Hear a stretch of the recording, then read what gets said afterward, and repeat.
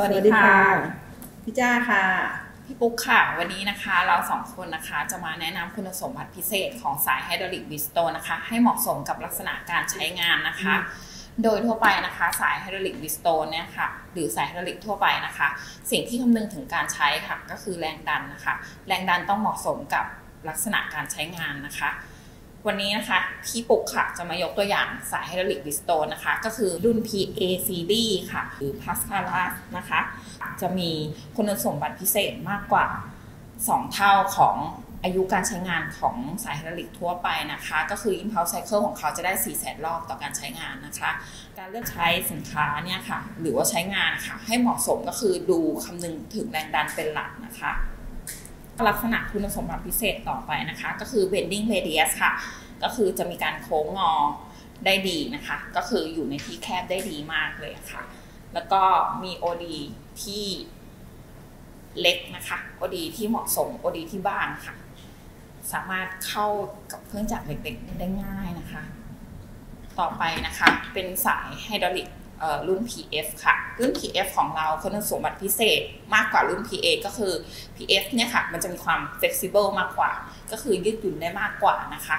PF เนี่ยจะนำไปใช้ในรถโฟล์คลิฟต์กันซะส่วนมาก ส่วน PF เนี่ยค่ะ ก็คือตอบโจทย์ของรถโฟล์คลิฟต์ได้อย่างเป็นอย่างดีเลยค่ะ ก็คือสามารถอยู่ในที่แคบได้ง่ายะค่ะแล้วก็ไม่เสียรูปนะคะ น้ำมันสามารถไหลไหลกลับได้ดีค่ะ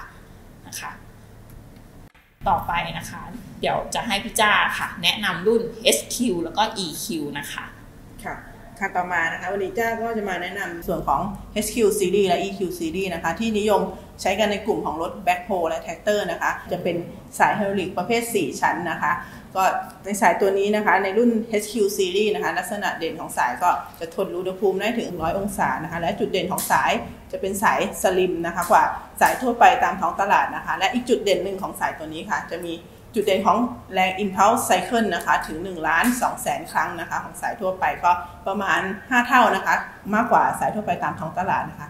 ค่ะ เรามาดูในส่วนของอีกรุ่นหนึ่งนะคะ จะเป็นสาย 4 ชั้นเหมือนกันค่ะ แต่เป็นในรุ่นของ EQ Series นะคะ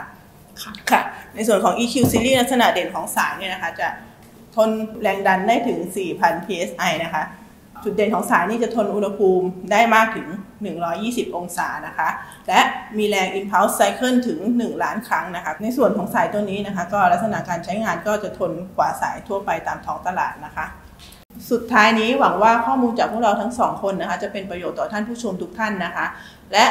หากท่านผู้ชมท่านไหนมีข้อสงสัยนะคะ เรายินดีให้คำปรึกษานะคะ ตามที่อยู่ที่ขึ้นมาทางด้านล่างนี้นะคะสำหรับวันนี้เราสองคนขอตัวลากันไปก่อนนะคะ